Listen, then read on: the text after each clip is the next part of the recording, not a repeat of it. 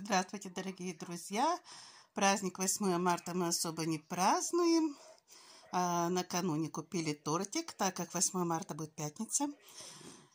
И вот полакомимся немного.